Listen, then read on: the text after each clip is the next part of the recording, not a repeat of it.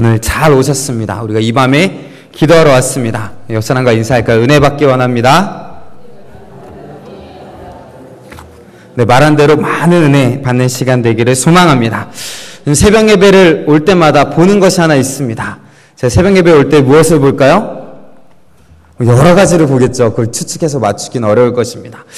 새벽 예배 올 때면은 항상 달이 떠 있습니다. 뭐 지금 밤부터 달이 떠 있겠지만 새벽에도 올 때 보면 달이 아름답게 떠 있습니다. 그러면 새벽 예배를 마치고 돌아갈 때 또 보는 것이 있습니다. 무엇을 볼까요? 그때는 해를 봅니다. 해를 보는데 해가 이렇게 떠오르면 고가도로 위에서 이렇게 뜨거든요. 해가 뜨는 걸 보면 어, 해가 이렇게 컸었나 라고 생각될 정도로 크고 그 빨간 해가 이제 번지면서 빨갛게 주변이 물드는 것을 보곤 합니다. 이런 해와 달을 보면 어떤 생각을 하게 될까요? 참 이쁘구나. 이런 생각을 먼저 하게 되겠죠. 그걸 보면서도 더 또 생각해보면 아름답다, 이쁘다. 그것을 넘어서 아, 하나님께서 주어진 사명을 해와 달이 잘 감당하고 있구나, 라는 생각이 듭니다. 그러면서 내 자신을 돌아보게 됩니다. 나에게 맡겨주신 하나님의 사명은 과연 무엇인가? 나는 그것을 잘 감당하고 있는가? 이상의 자연 만물들은 다 하나님이 명령하신 대로 하나님이 섭리하시고 움직이셔서 그 뜻대로 그 모습을 드러내며 하나님을 찬양하는데 과연 내게 맡겨진 하나님의 사명은 무엇이고 그것을 어떻게 감당하고 있는가 그리고 지금 현재 내가 그것을 잘 하고 있는가 생각해 보곤 합니다. 현대인들은 너무나 바쁘게 살아갑니다. 그래서 내가 왜 사는가? 나는 무엇을 해야 하는가? 지금 내가 하는 일이 바른 일인가? 라는 질문에 답을 할 시간이 없이 그냥 빠르게 지나갑니다. 왜 우리는 살아가는가? 왜 살고 계시죠? 옆 사람께 물어볼까요? 왜 사십니까? 물어보시기 바랍니다. 왜 사십니까? 그 물어보기 참 신뢰되는 질문이죠. 살아, 잘 살아서 잘 일하고 계신 분에게 왜 사니? 라고 물어보는 것처럼 대답은 들으셨나요? 왜 삽니까? 답하기가 막막하죠. 뭐 저는 죽지 못해 살고 있습니다. 이렇게 대답하는 사람은 여기엔 한 명도 없을 것입니다. 하나님께서는 각 사람을 태어나게 하신 목적과 이유가 있습니다. 나를 지으시고 그리고 나를 부르셨고 보내십니다. 그렇게 가끔 우리는 바쁜 발걸음을 멈추고 생각해 봐야 합니다. 하나님께서 나를 통해 하고자 하시는 일이 무엇인가? 이번 주 내내 한번 생각해 봤습니다. 하나님은 왜 나를 이 시대에 태어나게 하셨을까? 예전에는 상상할 수 없을 정도로 급격하게 변하는 이 시대 가운데 왜 보내셨을까? 그것도 가장 빠르게 변화하고 혼란스럽고 위험한 이 한국 땅에 태어나게 하신 이유가 무엇일까? 우리는 잘 느끼지 못하지만 우리는 지구상에서 가장 위험한 장소에 살고 있습니다. 북한의 위협이 끊임없이 일어나고 있습니다. 밖에서 볼 땐 정말 위험한 일이죠. 그런데 일본과 중국도 이제 가만히 있지 않습니다. 엄청난 군사력이 모여 있고 언제 터질 줄 모르는 그 장소에 우리가 지금 살고 있습니다. 그러면서 더 생각해 봤습니다. 이런 곳에 왜 내가 살고 있을까? 왜 지금의 아내와 결혼하게 하셔서 가정을 이루게 하셨을까? 아주 이쁘지는 않지만 그런대로 귀여운 딸을 주신 이유가 무엇일까? 이 가정과 함께 하나님께서 감당케 하실 사역은 무엇인가? 그리고 그것을 위해 지금 내가 해야 될 것은 무엇인가? 그리스도인이라면 살면서 이런 고민들을 가져야 합니다. 하지만 이 고민에 대한 답은 쉽게 나오지는 않습니다. 오늘 말씀을 보면서 우리의 사명을 다시 한번 생각해 보기 원합니다. 그리고 또한 이를 위해 더 열심히 기도하고 더 열심히 생활하면서 맡겨진 일들을 감당하는 우리 모두가 되기를 주님의 이름으로 소망합니다. 하나님이 이 땅에서 주신 사명은 무엇인가? 이 고민은 아마도 모세가 가장 많이 하지 않았을까라는 생각이 듭니다. 이 땅에 보내신 이유가 무엇일까? 이 시대에 태어나게 하신 이유가 무엇일까? 이 백성 안에 태어나게 하신 이유가 무엇일까? 오늘 읽은 말씀 속에서 모세의 모습은 어떻습니까? 어떤 직업을 가지고 있습니까? 제 얼굴엔 안 쓰여 있습니다. 우리가 읽었고 성경에 나와 있습니다. 무엇을 하고 있죠? 네, 양을 치고 있습니다. 이거 맞나 틀리나 하면서 양치기 이렇게 말씀하시는데 맞습니다. 양치기입니다. 그쵸? 양을 치고 있습니다. 40여 년 동안 양을 치면서 살던 모세가 드디어 하나님께 사명을 받는 장면입니다. 이런 모세의 모습을 자세히 살펴보기를 원합니다. 원래 모세는 양치기가 아니었습니다. 원래 누구였죠? 모세는 40년 동안 왕궁에서 살았습니다. 그것도 왕족으로 살았습니다. 본 자식은 하지만 왕비의 아들로서 왕자의 모습으로 교육을 받고 학습을 받고 그렇게 왕궁에서 살았습니다. 그런데 한순간에 왕궁에서 쫓겨나 광야에서 양을 치게 되었습니다. 왕궁에서의 삶, 그리고 양치기의 삶, 그 두 삶은 비교할 수 없을 정도로 차이가 큽니다. 하나님께서 모세를 지금 이 순간 일하게 하신 곳은 바로 양을 치는 곳입니다. 과거에 왕궁에 있었다 할지라도 지금 이 순간은 양을 쳐야 하는 양치기로 두셨습니다. 그 기간이 또한 40년 동안 계속되었습니다. 모세는 묵묵하게 40년 동안 양을 쳤습니다. 오늘 말씀에서도 모세는 양을 치면서 그 양들을 광야 서쪽으로 인도하고 있었습니다. 그 가운데 하나님을 만나게 되었습니다. 첫 번째로 드릴 말씀은 주어진 일에, 지금 일에 열심을 내라라는 것입니다. 지금 자신의 모습을 돌아봅시다. 지금 우리는 어디에 있습니까? 매일 일정한 삶을 살아가는 회사원으로도 살아갑니다. 한 아이나 두 아이 또는 세 아이의 엄마로 살아갑니다. 학교를 다니는 학생으로 살기도 하고 또는 학교를 준비하며 공부를 하고 있을지도 모르겠습니다. 나라를 지키기 위한 군인으로도 살아갑니다. 이 밖에 다양한 모습으로 우리는 각 사회에서 역할들을 감당하며 살아가고 있습니다. 그 가운데 만족하며 살아가는 사람들도 있지만 많은 사람들이 자신의 모습을 초라하고 작게 여깁니다. 많은 사람들이 지금 자기가 하고 있는 일에 만족을 느끼지 못하고 있습니다. 그 가운데 만족하는 사람도 많이 있습니다. 하지만 많은 사람들이 자신의 모습을 초라하고 작게 여기고 어떤 사람들은 현재 자신의 모습을 싫어하고 환경을 탓하기도 합니다. 하지만 지금 내 모습이 하나님께서 나에게 주신 모습입니다. 양치기의 모습이 40여 년간 양을 쳐야 하는 모세의 모습이 그러하였듯이 때로는 지금 내 모습이 예전과는 다르고 내가 생각했던 것과는 다르고 또한 너무나 초라하고 작게 느껴질지라도 지금 내가 서 있는 곳이 바로 하나님께서 보내신 곳입니다. 목사님께서 말씀하셨던 것이 것같이 소명, 하나님께서 부르신 그 자리가 지금 있는 바로 내 자리입니다. 소명에 대한 이야기를 할 때 앞으로 부르실 곳뿐만 아니라 지금 내가 있는 곳, 지금 내가 있는 곳, 일이 아니라 아르바이트라 할지라도 잠시 동안 머물러 무언가를 하는 자리인다 할지라도 그것은 바로 하나님이 부르신 자리입니다. 지금의 삶이 어떠하든지 그 주어진 일에 최선을 다하고 하나님 뜻대로 사시기 바랍니다. 그 안에 있는 하나님의 뜻을 발견하시기 바랍니다.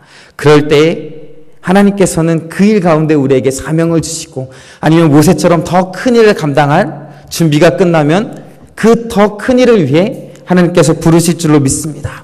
수많은 삶의 변화가 있었던 요셉도 항상 주어진 삶 안에서 열심히 살았습니다. 우리가 요셉의 삶을 잘 알고 있었습니다. 있습니다.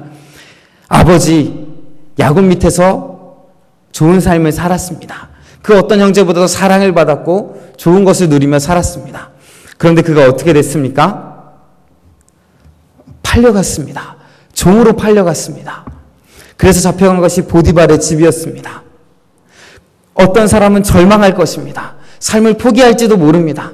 내 인생 드디어 망가졌다라고 생각할지도 모릅니다. 하지만 하나님께서 주신 그 자리에서 요셉은 열심을 내었습니다. 그 구절 구절마다 하나님이 함께 하심으로라는 구절이 있습니다.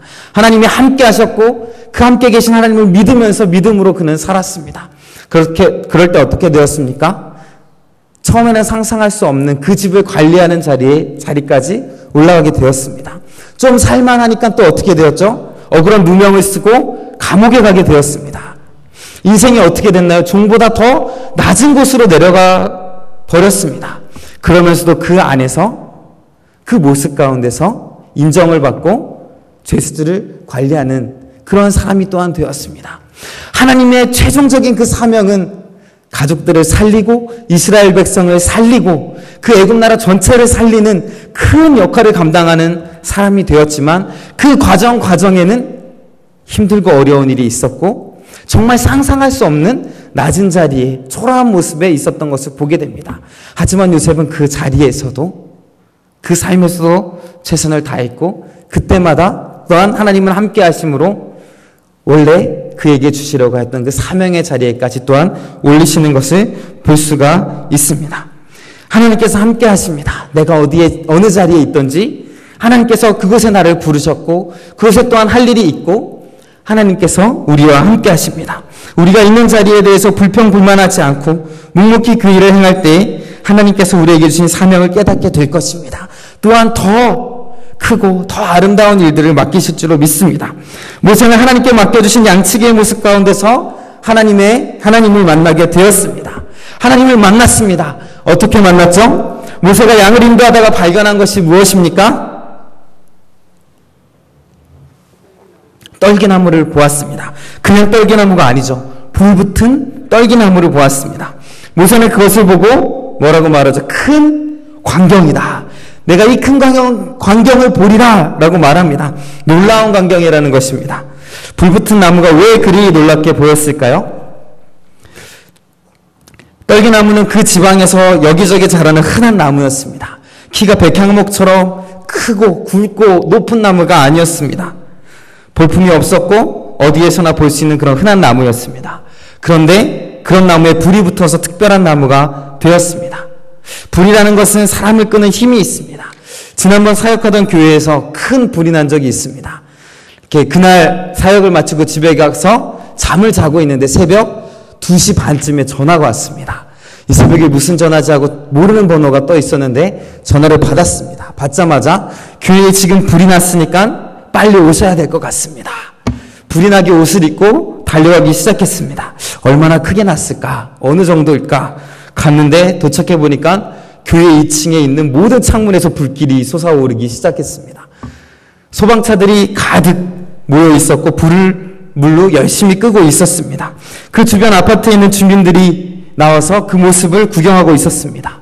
아마 그 교회가 생기고 한꺼번에 가장 많은 사람들이 관심을 가진 시간이었던 것 같습니다. 그러면서 불이 막 나기 시작하는데 마음속에 여러 가지 마음이 일기 시작했습니다. 그런 속타는 저의 마음과 다른 목사님의 마음도 모른 채 불은 계속 나고 있었고 사람들은 계속 구경하고 있었습니다. 그런데 문제는 불은 그냥 왔다가 그냥 가는 게 아니라는 데 있었습니다. 불이 나면, 불이 지나가면 그 자리를 다 태워버립니다. 더 이상 쓸모없게 또는 아예 사라지게 태워버립니다. 불을 다 끄고 이제 들어가 보니까 남은 건 까만 재와 몇 가지는 타버려서 사라지고 바닥에는 물이 흥건히 남았습니다. 불로 인해 사라져버리고 못 쓰게 되고 버려야 되는 것들로 가득했습니다. 그런데 모세가 본 그 불은 떨기나무를 태우지 않았습니다. 보통 불이라면 떨기나무를 태우고 자신도 사라지거나 아니면 다른 나무에 옮겨 붙어야 하지만 그 불은 그 떨기나무를 태우지 않았습니다. 그래서 그것은 바로 모세에게 큰 광경이, 큰 놀라움이 되었던 것입니다. 인간은 어떻게 보면 다 떨기나무와 같은 존재입니다.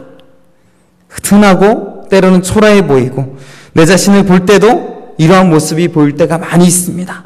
이 떨기나무에 불이 붙었을 때 크고 놀라운 모습이 되었던 것처럼 하나님께서 함께 하시면 그 누구라도 이 세상이 놀라는 큰 사람이 될 줄로 믿습니다.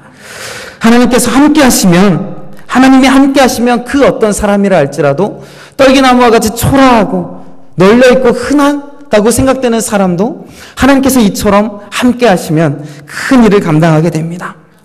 하나님은 모세에게 자신을 스스로 있는 자라 말씀하셨습니다. 하나님은 사람을 사용하지 않고도 그 모든 일을 할 수 있는 분이십니다. 하지만 하나님께서는 사람을 사용하십니다. 떨기가 나무 같은 우리를 사용하셔서 하나님의 큰 일을 감당케 하십니다. 우리는 이런 하나님을 만나야 합니다. 하나님 없이는 아무리 능력이 뛰어나다 할지라도 하나의 떨기나무로 있을 수밖에 없습니다. 하지만 하나님을 만나면 그 사람은 하나님이 사용하시는 놀라운 사람이 될 줄로 믿습니다. 하나님을 만나야 합니다. 하나님을 의지해야 합니다. 하나님께 나아가야 합니다. 하나님께서 주시는 힘으로 하나님의 사명을 감당하는 우리 모두가 되기를 주님의 이름으로 소망합니다. 어떤 학자는 이 불붙은 떨기나무를 보면서 모세를 말하기도 하고 또한 하나님이 함께 하시는 이스라엘 백성을 표현한다라고 말합니다. 애굽에 있는 이스라엘 백성들 초라하고 종으로 있고 고난을 당하는 그 백성들 하지만 하나님께서 함께 하셨을 때 열 가지 재앙이 어마어마한 재앙이 일어나고 그 백성과 함께 하셨을 때 홍해를 건너게 되었고 또한 많은 적군들을 물리쳐 주셨던 것처럼 하나님이 함께 하시자 초라한 백성이 하나님의 큰 일을 하게 되는 온 세상에 하나님의 이름을 전파하게 되는 백성이 되었다라고 말합니다. 또 어떤 학자는 더 넘어서서 하나님의 함께 하시는 교회를 말한다라고도 말합니다.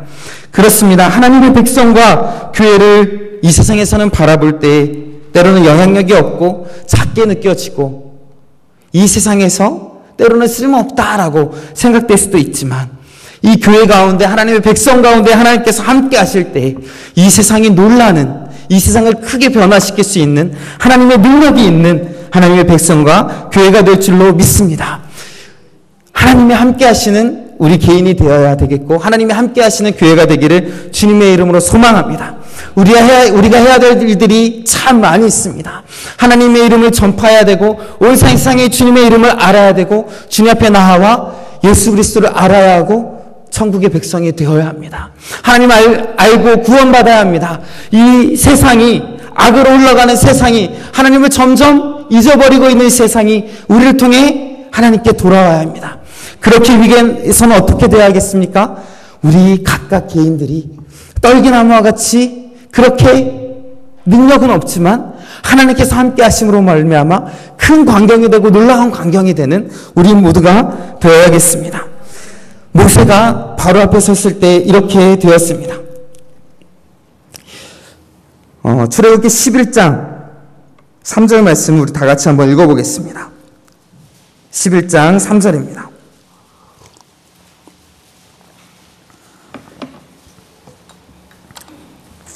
출애굽기 11장 3절 같이 한 목소리를 읽겠습니다. 여호와께서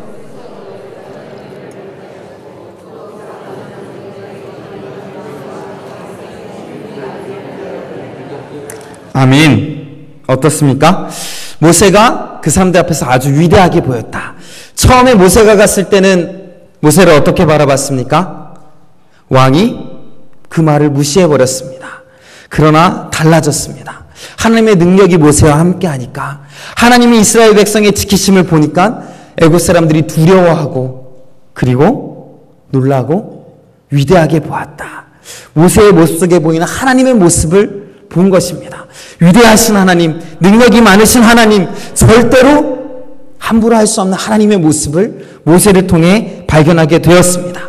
애굽에 있는 이방인들이 왕들이 그 신하들이 백성들이 그 하나님의 모습을 보고 두려워하게 되었습니다. 이와 같은 일들이 우리에게 일어나기를 소망합니다. 이 세상 사람들이 우리의 모습을 보고 하나님의 능력을 체험하고 하나님의 모습을 보고 우리와 함께 하신 하나님을 보고 두려움을 느끼고 내가 하나님 앞에 나아가야 되겠구나. 내가 내 마음대로 살면 안 되겠구나. 하나님이 살아계시는구나. 라는 것을 느끼는 그런 일들이 우리에게 있기를 소망합니다. 마지막으로 이런 일, 놀라운 일들이 언제 일어납니까?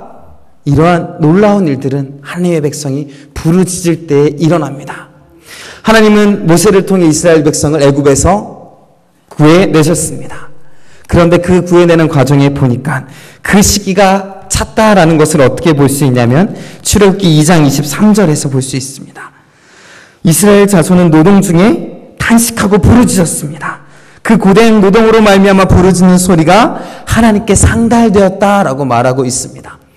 그들이 부르짖을 때 하나님은 때가 찼음을 아시고 모세를 준비하시고 그들의 백성을 애굽 땅에서 구해 내셨습니다. 모세에게도 말합니다. 3장 9절에 보면 이제 가라. 이스라엘 자손의 자손의 부르짖음이 내게 달하였다라고 말하고 있습니다. 부르짖을 때 하나님께서는 역사하십니다. 부르짖을 때 우리는 하나님을 체험할 수 있습니다. 하나님은 역사하시는데 역사하기 전에 우리를 부르짖게 만드십니다. 우리나라를 보시기 바랍니다. 우리가 처해 있는 상황을 보시기 바랍니다. 부르짖을 때입니다. 우리가 힘들어하고 괴로워서 부르짖을 수밖에 없는 상황입니다. 수많은 괴로움이 있는 세상입니다. 하느님을 향해 부르짖어야 하는데 이러한 부르짖음이 사라진 시대가 되어버렸습니다. 마치 사사기 시대처럼 각기 속에나 오름대로 하고 하나님께 부르짖는 일들이 없어졌습니다. 사사기 초반에는 그들의 부르짖음이 있었습니다. 그들이 그 이방 민족 때문에 부르짖을 때 하나님께서 사사를 세워 주셨습니다. 그런데 마지막 부분에 가면 삼손에 있는 데 이르기까지 가면 이제 백성이 부르짖지도 않습니다. 오히려 블레셋과 타협하고 인정하고 그들을 높이 섬기고 그냥 자신의 처한 상황에 따라서 무기력하게 살아가는 모습을 보게 됩니다. 그들의 모습 속에 전혀 하나님께 부르짖거나 구함이 없습니다. 오히려 삼손 혼자서 그 일을 행하고 부르짖습니다. 아무 백성도 그를 따라 블레셋을 칠 생각도 하지 못하고 오히려 블레셋 사람에게 그 사사를 내어줍니다. 부르짖지 않고 더 이상 그곳에서 하나님의 자손으로 살아갈 모든 것을 잃어버렸습니다. 결국 하나님은 삼손을 통해 부르짖게 하셨습니다. 부르짖은 것만이 우리가 하나님 앞에서 해야 될 것입니다. 우리는 너무나 편안한 가운데 있습니다. 예전보다 더 편안한 가운데 있습니다. 그럼에도 불구하고 그 편안함으로 말미암아 물질적으로 더 많아진 것 때문에 더 나아진 것은 또 없는 것 같습니다. 물질은 많아졌지만 예전보다 근심과 걱정이 더 가득한 세상이 되었습니다. 더 비교할 것들이 많아졌습니다. 누구는 이런 것도 하고 저런 것도 하는데 나는 할 수 없다라는 것들이 많이 있습니다. 그래서 우리나라가 자살률이 너무나 많이 높고 세계 1위이고 다 행복을 느끼지 못하고 비교하면서 그러면서도 하나님께 부르짖지 아니하는 삶을 살고 있는 것이 우리의 현실입니다. 북한의 위협이 있고 일본과 중국의 그러한 또한 어려움들이 위협들이 다가오고 있습니다. 우리가 느끼지 못하는 가운데 이 땅은 점점 어려워져만 가고 있습니다. 이 땅에서 우리가 할 일이 무엇이겠습니까? 먼저 부르짖어야 합니다. 하나님께 부르짖어야 합니다. 하나님 이 땅을 기억하여 주시옵소서. 이 땅이 계속해서 하나님의 일들을 잘 감당할 수 있도록 도와주시옵소서. 하나님 한국교회가 무너지지 않도록 도와주시옵소서. 점점 한국교회가 무너져가고 있습니다. 하나님 한국교회가 세워져야 또한 세계의 성도를 감당할 수 있습니다. 하나님 아버지 나라를 세워 주시옵소서. 각 개인이 하나님의 능력을 통하여서 전파하는 사명을 감당케 하여 주시옵소서. 우리가 가지고 있는 사명이 무엇입니까? 각자 맡은 위치에서 하나님이 나를 왜 이곳에 부르셨는가? 그곳에 나야 할 일을 깨닫고 그곳에 속한 그 공동체가 하나님의 나라가 되도록 노력하는데 우리의 사명이 있습니다. 그렇기 위해서 우리가 먼저 능력받은 사람이 되어야 합니다. 그냥 떨기나무 같은 사람이 아니라 하나님께 능력을 받고 하나님의 능력으로 말미암아 이 세상이 바라보기에 마치 바로와 신하들과 그 애굽 사람들이 바라보았던 것처럼 하나님의 그 위대한 하신 모습을 보아야 합니다. 현실은 어떻습니까? 교회 다니는 사람들 믿지 못하고 교회 다니는 사람들을 욕하고 있습니다. 물론 그들의 모습 가운데서 잘못된 것이고 악한 영이 역사하는 것도 많지만, 맞지만 우리 가운데에도 문제가 있습니다. 우리가 하나님의 능력을 입지 못하기 때문입니다. 우리가 오늘도 이 시간 기도할 때 하나님의 능력으로 살아갈 수 있도록 가식만 많고 보잘것없는 우리의 떨겨 나무 같은 모습만 자꾸 나오는 것이 아니라 이 세상의 것을 의지하는 것이 아니라 온전히 하나님께 부르짖고 하나님을 의지함으로 말미암아 이 세상에서 정말 진정한 빛과 소금의 역할을 감당해 달라고 부르짖는 우리가 되어야 될 줄로 믿습니다. 이 시간에 기도하겠습니다. 하나님, 우리가 하나님 옆에 나왔습니다.